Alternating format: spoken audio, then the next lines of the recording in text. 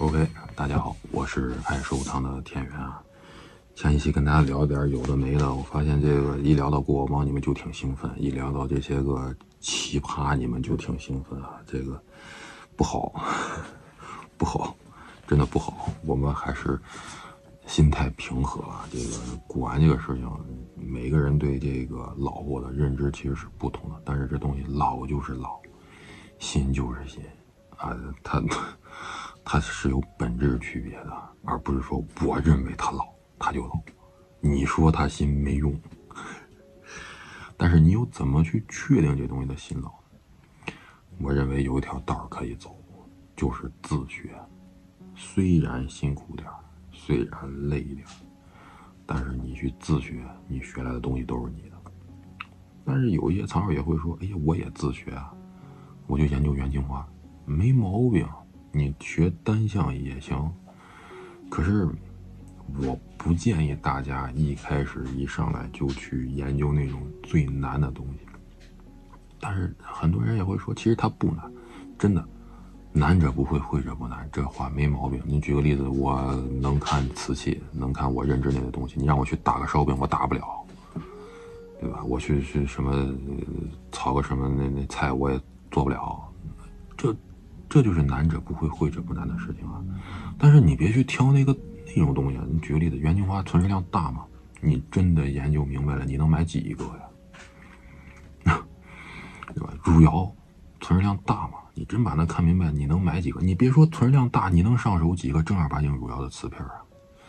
真的，对的，对吧？你无非博物馆隔着玻璃看看就不得了了。你你去刚开始学，你不从那些老普残开始，你从哪开始的？因为满世界都是那东西，你见得到啊，对吧？你可以去上手，你也可以去看呀。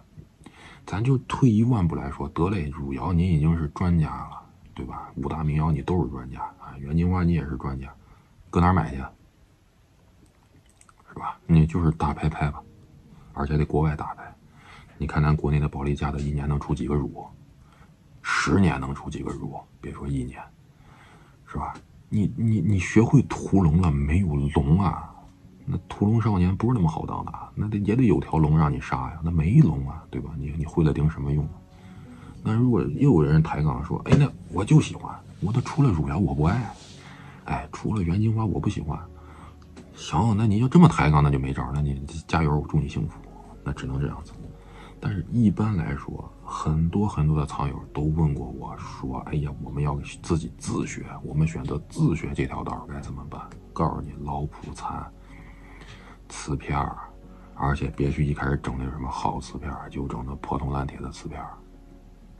老普残、晚清、民国、杨澜、嫁妆片儿、棋子块儿，你就从这开始，准没错，我说的，对吧？缠枝莲选手，先踏实当个缠枝莲选手再说。啊你缠枝莲都看不会，你，你你要看什么呀？是吧？你就看单色釉去啊。当然也有天赋异禀的，那我只会看单色釉，我就看不了缠枝莲存在啊。但是如果说咱们自己自学，你先从简单的开始嘛，是吧？啊，很多人说缠枝莲是不是太简单了？我告诉你，缠枝莲不简单。我曾经干过什么事情呢？我把这个缠枝莲的这个花菇，我买了一个残的，它缺了点肉，然后当时有那个石膏补上之后，我自己拿笔画，我想把那个。迷出来很难啊！你去试一下你就知道了，其实很难画。你别看缠枝莲这东西啊，不就那线条画莲花，画个莲花挺简单。你试一下，很难的。你要做到繁而不乱，很难的。所以我们你要选择进新手村，我建议你进这个新手村，进缠枝莲选手的新手村，不是为了让我们缠枝莲选手的队伍更加壮大，而是通过缠枝莲。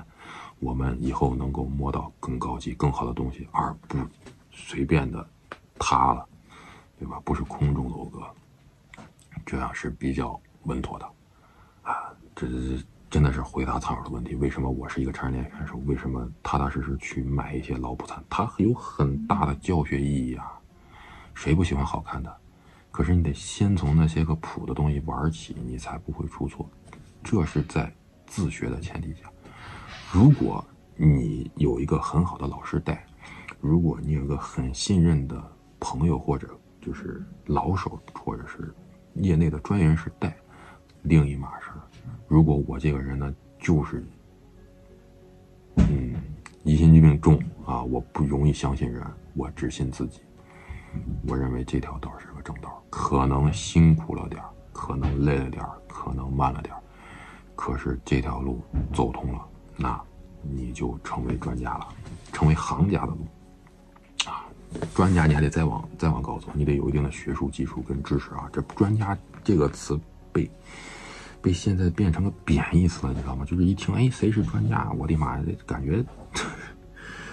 像像有点像骂人，其实不是的，这个东西还是很厉害的。你想成为一个行业的专家是很难的，很难的。我认为，我认为专家本应该在行家之上，可是现在感觉专家成个贬义词了，成个贬义词也挺奇怪的。但是咱不管别的，咱如果想踏实的自己自学，老普参啊，然后那种傻开门的那种瓷片儿缠指莲，你踏实当个缠指莲选手。等你把这东西搞明白了，你再进行下一步，都没错。因为现在科技很发达，很多科技不往正向上用，我们要避的雷很多，避的坑很多啊！